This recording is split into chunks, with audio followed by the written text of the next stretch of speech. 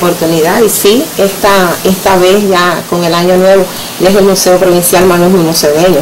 Eh, eh, pretendo bueno, dar breves datos sobre nuestra institución, pero antes transmitir una felicitación porque en la noche de ayer en nuestra institución cultural estuvo desarrollándose una actividad de homenaje precisamente al coro profesional de Bayamo, que ayer día 7 estuvo arribando a sus 62 años de fundado y fue una actividad bastante espectacular y magistral.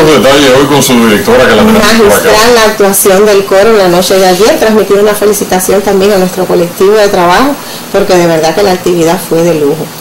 Entonces, nada, eh, comunicarle a los televidentes que nuestra institución cultural, o sea, el Museo Provincial Manuel Muñoz Cedeño, se encuentra inmediatamente ubicado al lado de la casa natal Carlos Manuel de Céspedes que en este lugar quizás muchas personas no lo conozcan. El primero de enero de 1813 nació Manuel Muñoz Cedeño, eh, que es precisamente el nombre que prestigia nuestra institución, que fue el, el instrumentador del, del himno nacional y de la Mesa.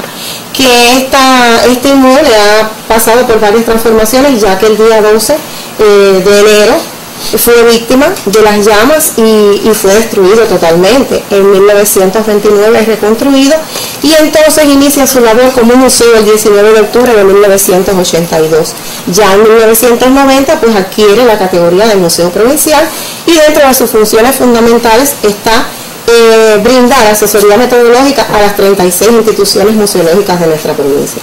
Por supuesto, diseñamos también una programación cultural, al igual que las otras instituciones, y precisamente para esta semana en que nos encontramos, tenemos, eh, o sea, eh, para darle a conocer a la población, tres actividades fundamentales. Por ejemplo, mañana, en horas de la mañana, a las 9 y 30, se estará dictando la conferencia El fuego que incendió una nación a propósito de que estamos vísperas de, del aniversario, exactamente. El viernes día 12 eh, estaremos desarrollando el espacio fijo Vayamos, Historia e Identidad en el malecón de la Lisana con el círculo de abuelitos que, que participan allí junto a nosotros. Esto será a las 9 y media de la mañana.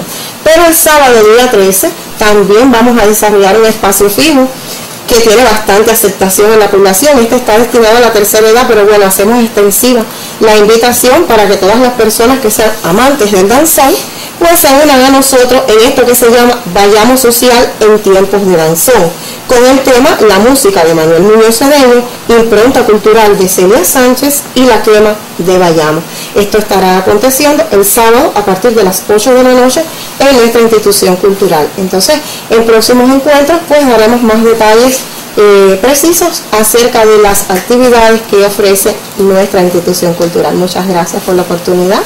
Las gracias, Caridad, como siempre, por llegar hasta acá, ahora representando otra institución, pero dentro del marco de la cultura. Bienvenida entonces en estas nuevas funciones.